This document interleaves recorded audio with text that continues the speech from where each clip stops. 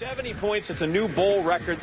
Baylor, they had the mark for an entire week.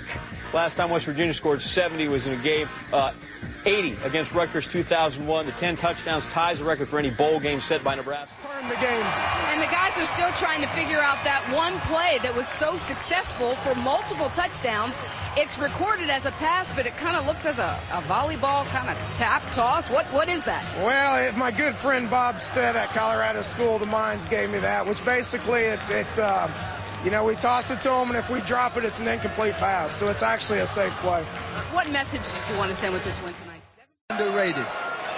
Well, Tavon Austin caught this little slip pass that Dana Holgorsen said he got from a buddy of his who was a coach at Colorado School for the Mines, and they continually scored on it. Holgorsen will reach anywhere for a ball play. Well, it's easier. You aren't going to fumble, and if he does drop it, it's an Incomplete. incomplete pass. So I think it's a brilliant way to run it. Let me ask you about unique offenses with some great skill players and talent. And West Virginia had a play that there was no answer for on the Clemson side tonight. No, and I've never seen this play run like this either. And Tavon Austin caught three of them. It's just a little shotgun snap to Geno Smith. He gets his hands on the ball and he just flips it forward, and off they go.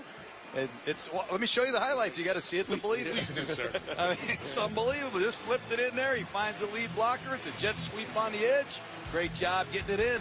Same play the other way. Lead blocker on the edge. It's all Tavon Austin. Great open field running.